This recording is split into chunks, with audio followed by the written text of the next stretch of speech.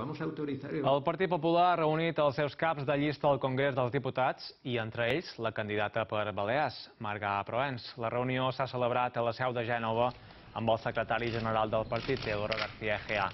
Just avui el PP ha donat a conèixer el seu número 2 per Madrid a les eleccions generals.